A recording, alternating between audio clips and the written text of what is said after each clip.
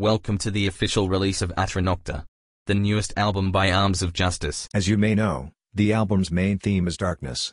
Although it's beyond true intentions, you may find that this album is not everyone's cup of tea. Bear in mind that the following album contains intense fear, and themes of a nature that may shock or disturb. We advise that you do not listen to this album on your own, nor do you listen to this album or any its songs between 3 a.m. and 4 a.m. BADMOVE, Arms of Justice, and Black Dove Collective are not, and will not take responsibility for any fear or disturbance you develop, especially if you ignore our disclaimer. You have been warned, and viewer discretion is advised.